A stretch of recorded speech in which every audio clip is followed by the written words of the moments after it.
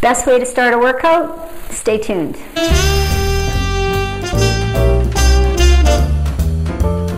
Hey, Shawna K, femalefatlossover40.com question as to what the best warm up is uh, before you start a workout. So I thought I'd give you a, an idea of what I do for my own warm up and what I do with my fitness boot campers. You want to make sure that you're doing a, a three to five minute warm up before you start your workout. You'll have a better workout and you'll reduce the possibility of injury. So, uh, some people mistakenly do static stretching to warm up, and not a good idea. Your body's not warm, your muscles are not ready for any static stretching. So, what you want to do is you want to do dynamic stretching, which means you're working through a full range of motion for all body parts. So, I'm going to go through a series of exercises with you, uh, and then I'll list them below, and you can do them them, uh, and I suggest that you do five to 10 reps of each of the exercises, and then you go through this series twice. So we're going to start with just some basic arm circles. So you're going to work both uh, directions on the arm circles. From there, you're going to go into um, a body weight squat. And now you might need to work into depth for this squat.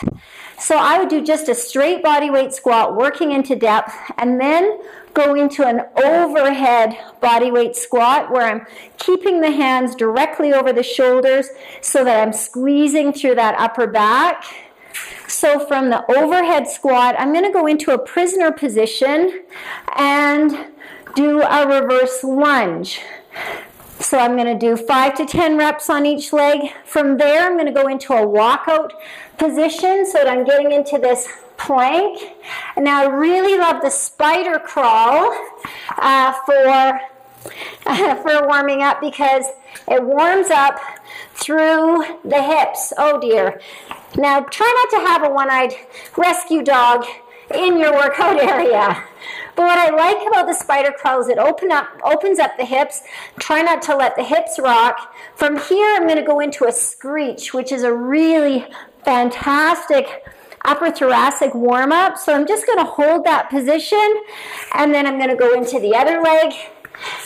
Uh, try and get the foot as close to the hand and reach up and over and hold it. Do a couple uh, reps of that. Then I'm going to drop to my knees and do five to 10 push ups. I'm going to come back onto my toes, walk my hands out, stand up, hinging at the hip.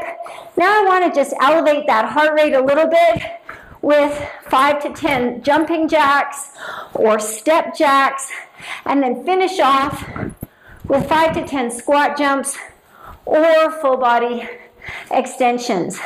Now I would go through that two times. That's going to take you three to five minutes. That turns out to be, uh, you're going to warm up every body part. Through that, through full ranges of motion, you're going to have uh, better workout performance and you're going to uh, decrease the chance of injury and just have a great workout after that. Give that a try.